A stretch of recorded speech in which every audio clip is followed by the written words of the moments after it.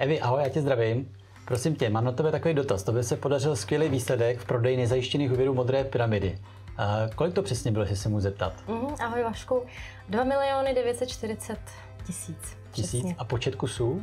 Počet kusů pět, takže tam byly i větší částky v těch Aha. úvěrech určitě. Ty bláho. A to je právě to, když jsem viděl, tak mě hrozně by zajímalo, jestli bys nám dokázala prozradit, jak se ti to jako podařilo. No ona u mě je to vždycky taková jako kombinace v podstatě, že se to jakoby sejde v nějakém jednom období, mm-hmm. kdy vlastně eh, část jsem dělala rychlou úvěr klientům na rekonstrukci, tam to bylo ve dvou kusech, protože jakoby postupně eh, vlastně rekonstruovali a zjistili, že potřebují ještě víc peněz. Mm-hmm. To byli i mý kamarádi, takže vlastně mluvím o tom, co dělám s kamarádama a ono třeba po roce, o tom jsme se eh, o tom bavili, tak se potom ozvou. Mm-hmm.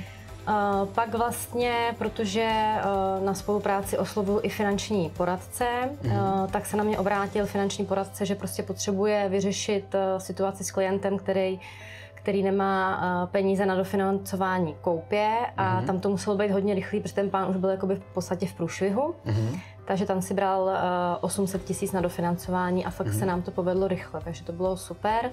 A vlastně další částky byly taky v podstatě od finančních poradců, pak to byli i klienti, kteří si dřív brali hypotéku a teď potřebovali rekonstrukci. Takže z mých zkušenosti jakoby, je vždycky dobrý to tak různě jakoby rozhazovat ty kontakty na všechny možné strany Takže a ono nesázet, se to takhle sešlo. Nesázet na jeden zdroj, ty jsi říkala, teda, jestli chápu správně, byli tam nějaký známí, uh-huh. byli tam vlastně finanční poradci uh-huh. a pak tam byli nějaký stávající klienti. Tak, přesně, kombinace. přesně tak. No. A, a ty stávající klienti třeba se ozvali sami, nebo se nějak jako pravidelně třeba posílali nějakou jako nabídku, že kdyby potřebovali, ať se ozvou?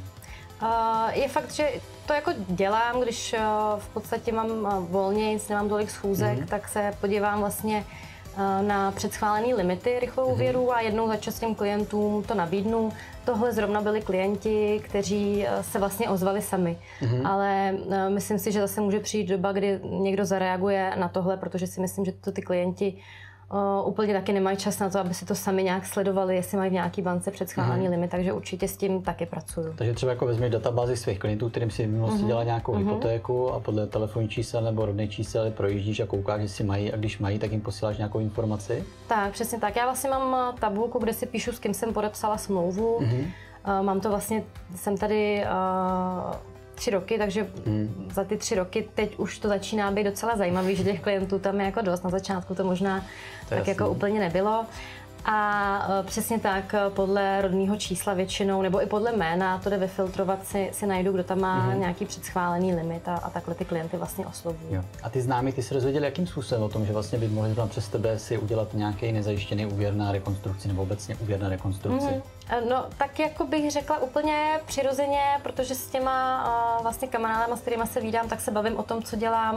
Mm-hmm. Myslím si, že to je i jako nějak cítit, že to jako dělám ráda a, a tak. A prostě jsme se vlastně uh, normálně bavili o té situaci, jakou mají, že potřebují rekonstruovat a, mm-hmm. a jestli bych se jim na to nepodívala a pak už to vlastně jako jelo. A u těch známých většinou mám zkušenost, že opravdu se o tom bavíme. A oni se ozvou třeba za rok, že si na to vzpomenou, jako že to není úplně třeba hned, že u těch známých to může i nějakou chvíli trvat, ale prostě eh, jako se o tom bavit všude, všude možně, co, co dělám. No. Takže i trpělivost.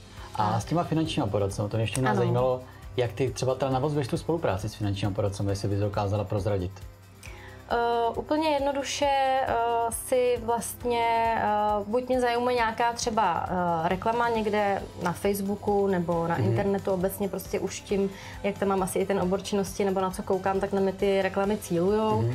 Uh, trošku si o tom poradci něco, něco zjistím fakt jenom z internetu a když mm-hmm. nějakým způsobem mi je třeba sympatický nebo mi připadá, že je dobrý v tom, co dělá, uh, tak mu zavolám, řeknu, že vlastně děláme ve stejném oboru a jestli se nechce sejít uh, na kávu. Mm-hmm.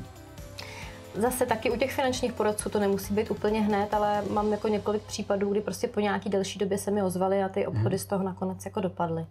Takže hodně spolíháš na to, že na tebe někde vyskočí nějaká placená reklama nebo nějaký příspěvek? Tak, přesně tak. Většin, většinou jo, anebo se i k těm finančním poradcům třeba dostanu i přes klienty, kdy prostě mm-hmm. mi řeknou, mám svého finančního poradce, s kterým to řeším, To samé se vlastně takhle dostanu i k makléřům, kdy mám mm. třeba klienta, který kupuje byt, má tam nějakýho makléře. Když ten obchod dopadne dobře, ta spolupráce mm. jakoby mezi náma s tím makléřem funguje, tak pak mu vždycky nabídnu, jestli by nechtěl spolupracovat se mnou jo. i na těch hypotékách. Takže ptát se stávajících klientů, jaký mají finanční operace, jestli mají, jestli A není to překážka nebát se toho, no, protože právě uh, určitě si jakoby můžeme jako navzájem pomoct, protože ten obor mm. prostě je stejný. A... Teď mě ještě napadá, proč třeba ten finanční poradce v tomhle případě si to jako nezařídil sám a udělal to přes tebe, ten nezajištěný úvěr.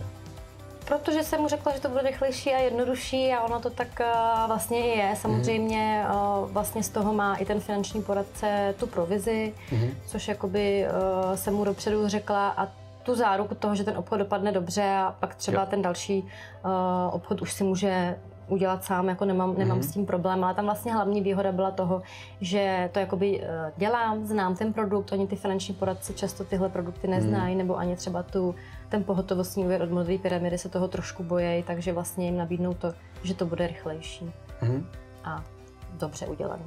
Skvělý, skvělý. Tak to velká gratulace ještě jednou. Děkuju. Jsi skvělý příklad pro ostatní a moc děkuji za informace. Děkuju. Ať se daří. Taky.